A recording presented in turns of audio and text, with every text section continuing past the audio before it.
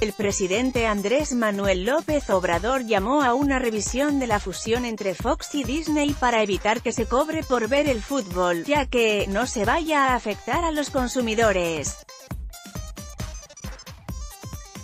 En su conferencia de prensa, López Obrador mencionó que tiene información sobre el tema y dijo que esta fusión no se permitió en Europa ni en Estados Unidos.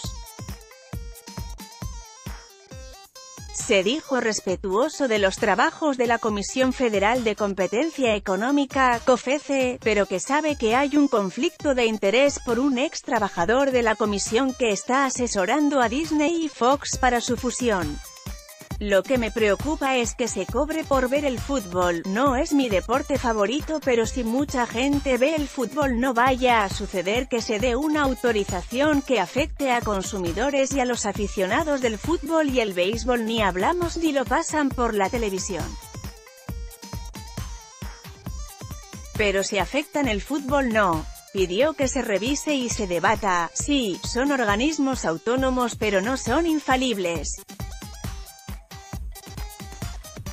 No son el castillo de la pureza y se vea que están haciendo. La Comisión Federal de Competencia Económica, COFECE, de México ya avaló la compra de Fox por parte de Disney dado que la operación tiene pocas probabilidades de afectar el proceso de competencia, y ahora es el IFT quien debe autorizarla.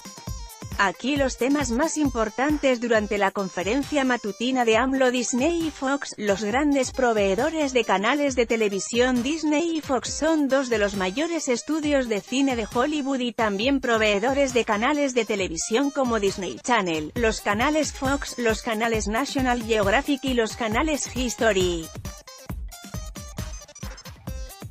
La propuesta de adquisición combinará Disney y activos de Fox en todo el mundo, incluidos sus estudios de cine y televisión, y sus negocios de cable y televisión internacional.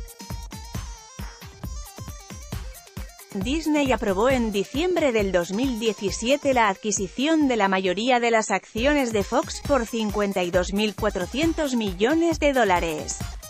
Sin embargo, en junio pasado Disney mejoró esa oferta y anunció que compraría los activos de la Fox valorando cada título en 38 dólares, por encima de los 28 dólares acordados inicialmente en diciembre.